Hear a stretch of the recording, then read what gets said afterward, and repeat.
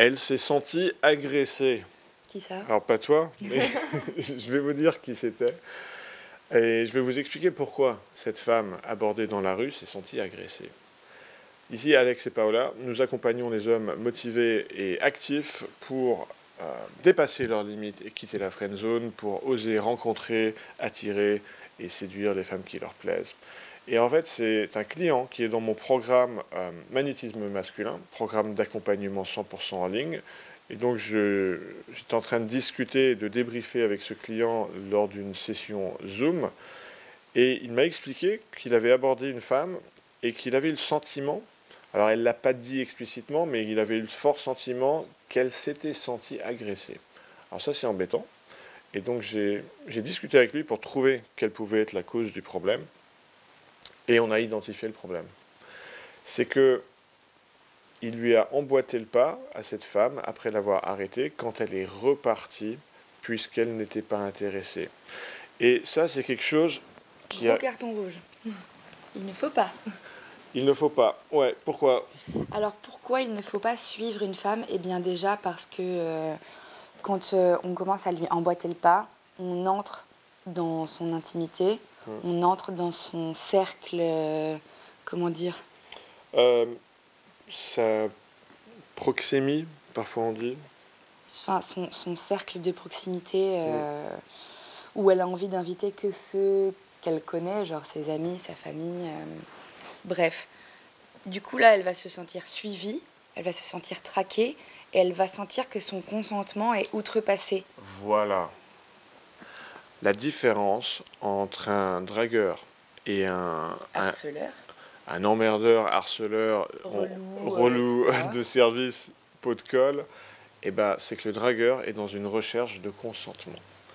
Parce que une femme qu'on va aborder dans la rue, elle a rien demandé, donc elle doit pouvoir nous dire non, elle doit pouvoir choisir de ne pas interagir avec nous, et c'est justement pour ça qu'une femme qui est en train de marcher, il faut l'arrêter.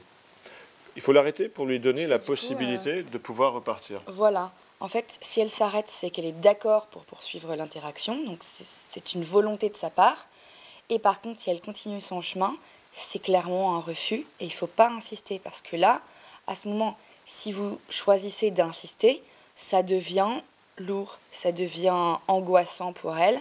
Et, euh, et c'est ces cartons rouges, il faut, On doit respecter les choses. le libre arbitre de la femme de, de décider, de, de, choisir de ne pas échanger avec nous. Elle n'est pas obligée. C'est pas parce qu'on est agréable, qu'on dit bonjour, qu'on fait un compliment, que, que ça l'engage à, répondre. Elle peut juste continuer sa route euh, en nous balayant d'un revers de la main, comme il m'arrive à peu près une fois sur dix les neuf autres fois étant des, discussions agréables. Et euh, bah ouais, je crois que tout est, tout est dit. Alors si, une dernière chose quand même, parce que peut-être que si tu n'as jamais tenté euh, une approche froide, comme, on appelle ça, de, faire une rencontre dans la vie réelle comme ça, si toi tu n'as jamais tenté ça, tu, peut-être que ce sujet il te paraît évident. Pourtant, je peux t'assurer que dans, dans le feu de l'action, tu seras tenté d'emboîter le pas à une femme qui, qui, reprend son chemin, la tentation sera grande parce que tu auras, auras, en tête la phrase que tu as envie de caser et tu voudras à tout prix caser ta phrase et continuer à parler. Et donc, mécaniquement, sans y penser, tu vas lui emboîter le pas et ça va nécessiter un effort conscient de ta part. Et donc, ce que je veux que tu fasses dans ces situations, c'est que tu fais comme si tu avais de la colle sur le, dessous de, de, tes semelles et qui font que tes pieds ne peuvent pas bouger. Tu peux tenter de la rattraper euh, verbalement en lui disant non mais revenez, revenez, c'est important, j'ai à vous parler, mais tu restes sur place. ok. Et ça c'est euh, féministe euh, validated. ouais. like la vidéo, abonne-toi, clique sur la cloche pour être notifié et dans la description juste en dessous, tu peux télécharger mon PDF gratuit, les quatre compétences clés qui te permettra d'aller plus loin dans cette démarche que de simplement regarder des petites bribes de vidéos gratuites sur YouTube. À la prochaine. Au revoir.